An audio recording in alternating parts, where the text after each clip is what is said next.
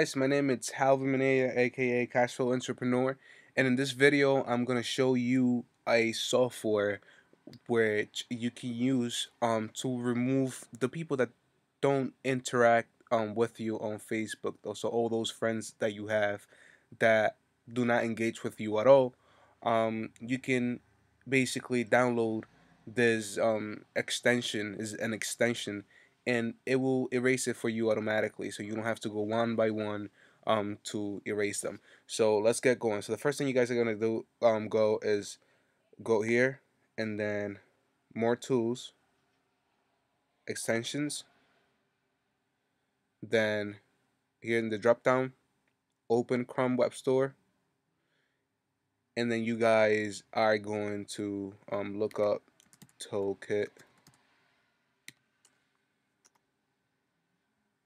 and right here toolkit for Facebook by PlugEx um, you guys are gonna hit the download button right here. I already have it.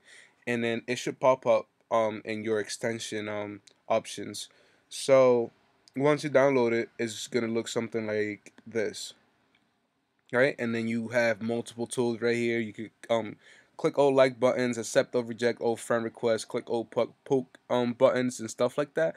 But what we're going to focus on in this video is um erase the people that unfriend the people that um the inactive people right? And this is the option. So unfriend multiple all inactive Facebook friends. So you guys hit start tool He's gonna pull up your Facebook.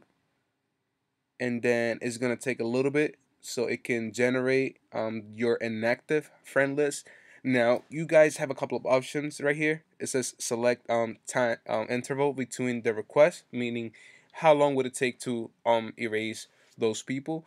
What I do is that I usually put four seconds, so that way Facebook don't think don't detect um, the bot itself, and then you won't get in trouble.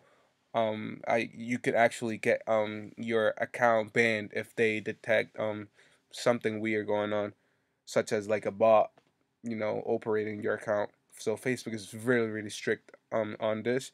So I usually go with four to five seconds, depending. And don't do this too often because Facebook is gonna catch on to it um, on your um, account. So I'll probably do it like once a week or so.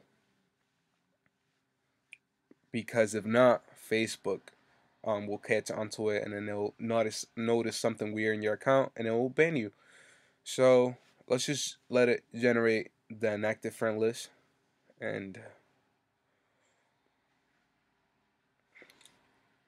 oops low battery.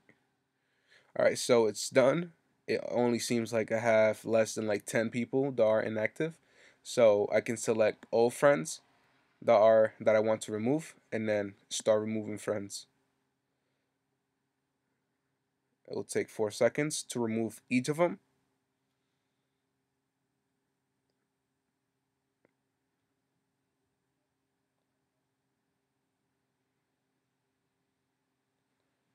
And basically, this is it, guys.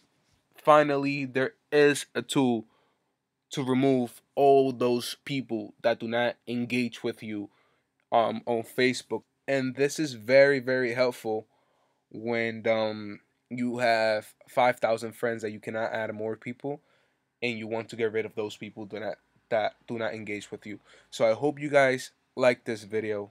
Please um, like this video and subscribe to my channel for more um, tutorials and stuff that I use. And um, I'll see you in the next video, guys.